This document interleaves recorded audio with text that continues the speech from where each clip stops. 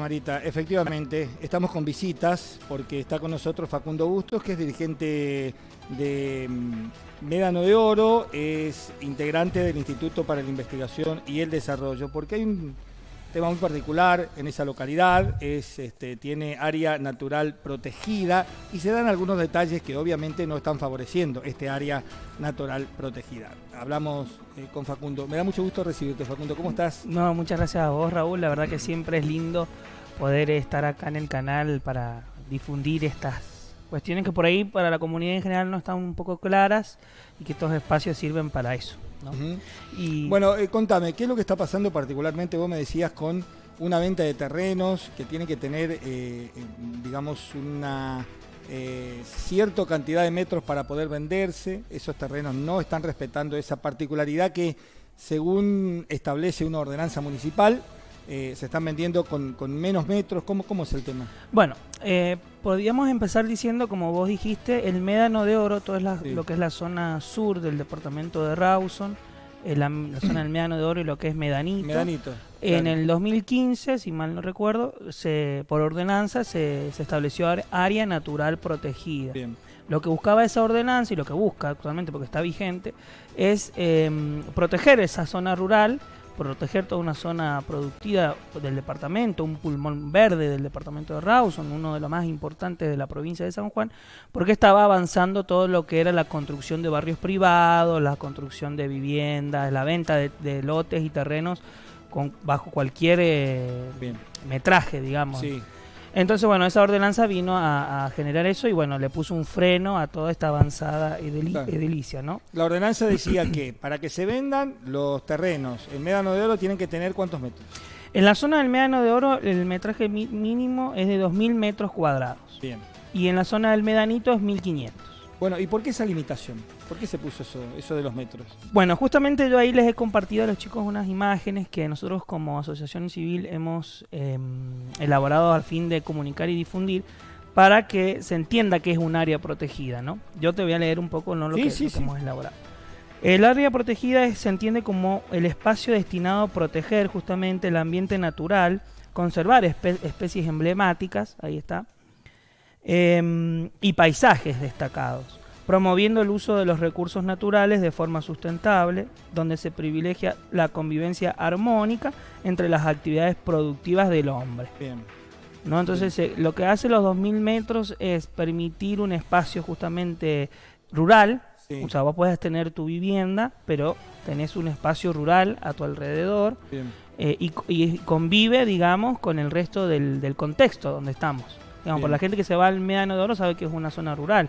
No vamos a pretender como comunidad transformar una zona rural en una zona eh, urbana. urbana, ¿no? Con todo lo que con lo acabo lo acabo de mencionar ahí que dice el área protegida, todo lo que es la Pese a que en los últimos tiempos el Médano de Oro ha tenido un auge en cuanto al negocio inmobiliario. Exactamente, exactamente. Algunos han estado cumpliendo estas estas medidas, porque lo que aparte del tema del, de los 2.000 metros cuadrados, lo que, lo que promociona es que la persona, la familia que vive en ese terreno, pueda ser productora de sus propios alimentos. Teniendo este espacio rural, ¿no es cierto?, de 2.000 metros cuadrados, pueda ser quien plante, quien coseche sus propios alimentos donde vive, ¿no? Todo este, todo este contexto es el que establece también la ordenanza. Entonces, bueno, han habido eh, ventas de terrenos, han habido... Mm, eh, bueno, pero, antes de eso, digo, para que se declare área protegida, ¿esto ha estado consensuado con los vecinos? Sí. ¿Ha estado hablado con ellos? Porque digo yo, a ver, dueño y particular y dueño de un inmueble, yo soy dueño de venderlo en, cuanto quiera, quien quiera. No sé si es tan así el tema, por eso te lo pregunto. No, no, ah, tengamos primero en, en claro, digamos, que vivimos en una comunidad organizada. Sí. Digamos donde hay normas y leyes que se hacen y se establecen para la convivencia, ¿no es cierto? Y donde el Estado, el gobierno, establece pautas para poder em, desarrollar a futuro una población. Entonces lo que pretende el gobierno, el Estado, es proteger esta zona. Porque estamos hablando justamente hoy en día mucho del cuidado del ambiente, lo, que, lo que eso significa, las juventudes, las adolescencias son los que más lo están promocionando, y esto tiene que ver con eso, el cuidado del ambiente, la, la preservación de la flora, de la fauna. Em, y de una idiosincrasia de la zona, digamos. El Médano de Oro se caracteriza por su zona productiva, por los productores, digamos, la mayor cantidad de verduras que tenemos en el departamento, en la provincia, han salido y salen de esa zona. Exactamente. Eh, y la, la- la feria de la zona del Médano es conocida popularmente. Exactamente, digamos, toda una historia, toda una, una cultura. Y a lo que íbamos es que, bueno, se estableció este, esta, esta normativa que se Sí. debe cumplir y se Sí. trabajó durante muchos años con la población. Se hicieron foros, debates, charlas, donde participaron productores eh, y todo el vecino que quería participar. Entonces yo fui uno, no, no les he compartido justo imágenes a los chicos, pero tengo imágenes. Yo era, estaba muy flaquito en ese entonces, eh, tenía 16 años, 17 años. Participaba de los foros y los debates, de porque participábamos como escuela también, recuerdo, eh, de esos encuentros. Y bueno, habían sus cruces, sus puntos de vista que se Claro. hacían y bueno, se llegó hasta un, hasta un cierto punto en común, que fueron estos esto, este límite en, lo- en los metros de los 2.000 metros cuadrados para el Médano de Oro y los 1.500 para el Medanito. Perfecto. El, el problema es que, bueno, eh, bueno, eso llevó el tiempo, en el 2015 se eh, aprobó esa ordenanza, si mal no recuerdo, y a partir de ahí tuvo vigencia. Entonces, ¿qué quiere decir? Que toda persona que quiera escriturar en el Médano de Oro a partir del 2015 debe cumplir con estos metros. Con esta reglamentación. Claro. Bueno, eh, as- así, todo, digamos, hecha la ley, hecha la trampa, siempre están los que quieren, digamos, sacar algún rédito de estas cosas y bueno, le buscan alguna, la quinta pata al gato, como quien dice. Y bueno, nosotros hemos hecho ese comunicado que, que- que hemos compartido donde, donde de- denunciamos que están utilizando la figura del condominio que es una figura que no está, em, que no es ilegal, digamos, está No es dentro ilegal, de la claro, ley claro. de provincial y a la ley, digamos, a nivel nacional, todo el condominio está permitido. Pero lo que nosotros estamos viviendo que aparentemente no está incluida en esta ordenanza Claro. que se aprobó en el 2015. Claro. Entonces lo que le hemos pedido y O lo- sea, no, no se contempla como una posibilidad de venta. esto. claro, El condominio. Claro, entonces no está, no está incluido. Eso Bueno. no está incluido. Entonces nosotros lo que hemos hecho es difundir esto y le estamos pidiendo al Consejo Deliberante de Rawson. Bueno, nosotros tenemos mucha afinidad con la concejal Romina Ríos, que siempre Sí. le, bueno, le estamos pidiendo a ella de trabajar algún, alguna iniciativa que, que pare de esta manera y que, y que establezca que el condominio no es una figura Bueno, para y, hacer. y son muchas las ventas que se han producido en los últimos tiempos bajo esta figura o no? Eh, mirá, yo, nosotros hemos hecho esta comunicación y esta mm, visibilización de esta problemática porque hemos tenido amigos, conocidos, familiares que han estado buscando eh, terrenos, propios vecinos de la localidad para mm, hacer su hogar y demás. Y bueno, donde nos preguntaban, mira, me están diciendo, viste, porque la gente por ahí no sabe. Y, y, no- y nos identifica a nosotros por ahí porque estamos más ahí viendo qué es lo que pasa Bien. con el Médano, con Rawson, qué sé yo. Entonces se contactan con nosotros y nos preguntan. Y nos dicen, mira, me están ofreciendo esto, pero en el condominio no entiendo mucho qué. Claro. Con y- todo lo que el condominio significa, ¿no? No ser propietario absoluto, tener que depender de otro para eh, lo- los impuestos públicos, para los distintos impuestos y Justo, todo eso, ¿no? justo va- vamos, vamos ahí. Yo te voy a explicar Sí. un, un hecho, una, un hecho real, digamos. Un, propietario de un lote de 2.000 metros cuadrados subdivide esto, lo- este lote en cuatro o cinco parcelas y las ofrece en, en calidad de condominio. Entonces la persona dice, ay, tengo un lote en el Médano, que es un lugar hermoso, de 300 metros cuadrados, donde puedo ir a vivir e edificar, eh, y por un dinero, no sé, 800 mil pesos, por decirte, un valor, por ejemplo, sí. y la gente, claro, eh, quiere aprovechar esta oportunidad, ¿no? ¿Quién no quiere un lugar? Y 300 metros cuadrados para vivir y bueno, más o menos como que uno se arregla, ¿no? Entonces lo que se hace es eso. Entonces vos de repente en un lote de 2.000 metros cuadrados lo tenés subdividido en 4 o 5 parcelas. Claro. ¿me Digamos, es una figura engañosa. Exactamente. Es una figura engañosa. Es una Bueno, ¿y figura esto qué implicaría? ¿El cambio de regla de juego por parte de algunos, de algunos vecinos que están interesados en vender? O sea, vecinos que imagino en su momento firmaron para que esto sea área protegida. No, no, mira, yo lo que te puedo decir es que hemos tenido mucha adhesión con la comunicación que hemos hecho de los propios vecinos de nuestra localidad, mucha adhesión, o sea, no, no se nos ha ocurrido porque Facundo Busto se despertó y un día dijo vamos a hacer el comunicado, lo hemos trabajado con nuestro equipo y hemos tenido una adhesión muy importante de nuestros vecinos, de nuestra comunidad, quienes, quienes están a favor de esto.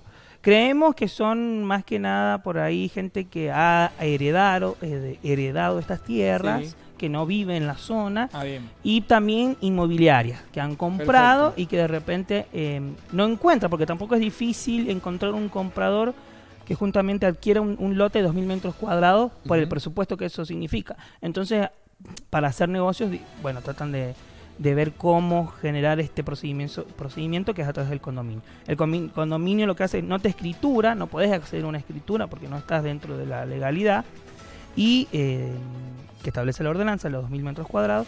Entonces sos un porcentaje dueño del, lot, del total y compartís ese porcentaje con los otros dueños de ese lote. Exacto. Por ejemplo, en un lote que se subdivide en cuatro parcelas, sos 25% dueño. Exacto. ¿Me entendés? Claro. Y en el caso que vos quieras vender a futuro tu parcela, los otros deben estar de acuerdo, digamos, todo como si... eh, Sí, todo se comparte. O sea, Claro, yo sí. lo, lo que me extra- lo que también nos llama la atención porque, por ejemplo, para el uso de los servicios públicos, bueno, el uso de, de Sí. la luz, en el caso que, que pase el agua potable y demás, em, Energía San Juan lo que te hace es una sola bajada del alumbrado, del medidor. Bien.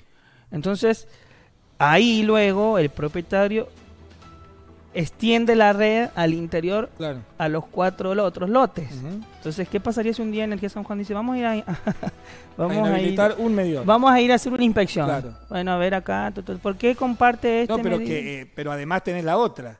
Que si todos pagan menos uno, por ejemplo, Claro. le tienen que cortar a todos. ¿Qué pasa si uno de esos que, que, que está subdividido el lote no de repente se quedó sin trabajo, no tiene para pagar la Claro. energía? ¿Quién se hace cargo de pagar el O sea, es una Claro. problemática. Es. ¿Y sí. qué termina pasando? Porque lo hemos, lo hemos charlado con los vecinos, con, con la gente que ya está ahí, que ya está pasando. Van al municipio de Rawson a ver una solución, a ver Sí. qué se puede hacer. Bueno, ¿y las vías de solución cuáles son? ¿Hacia dónde giran? ¿Cómo vamos? Yo creo que las vías de solución es dar un fuerte mm, eh, Impulso. impulso a, la- a comunicar esto, Bien. a promocionar que el Médano de Oro es un área natural protegida. Yo venía pensando, estaría bueno que en todos los medios, cada vez, porque por ejemplo decía, los medios cómo podrían em, colaborar. Bueno, cada vez que se pronuncia el Médano de Oro, se lo pronuncie Médano de Oro, área natural protegida. Por ejemplo, puede ser una iniciativa con todo el nombre completo. em, y promocionar esto y que la gente sepa que a la hora de comprar se asesore, porque va a tener un problema mayor. Claro. Va a haber un problema muy grande con esto que está pasando en el Médano de Oro. El otro objetivo nuestro es que el Consejo Deliberante de Rawson eh, pueda aprobar una modificación o agregar a la ordenanza madre esta, esto que no se, que se prohíba la venta de con, es- con cualquier figura legal. Bien. ¿Me entendés? No, no. Tiene que ser una venta como dice la ordenanza, 2.000 Perfecto. metros cuadrados, ni un comodato para el, no, nada, un contrato especial, ni como ni Claro. conso- ni mm, Eh, condominio, ni consorcio, no, tiene que ser como corresponde. Bien. Y justamente ahí le compartíamos a los chicos eh, los objetivos del área protegida, que estaría bueno ponerlos y yo se los voy a leer así, no queda eso Ahí colgado. está, objetivos. Los objetivos del área protegida es conservar el ecosistema, Bien. ¿no es cierto? Promover investigaciones y acciones para el desarrollo sustentable, preservar y conservar el patrimonio cultural, el paisaje natural y las bellezas escénicas, todo esto que veníamos hablando, promover los valores y principios de la conservación de la naturaleza, la agricultura sustentable, esto que cada familia va, pueda eh, sembrar y cosechar en, en donde mismo vive, Sí.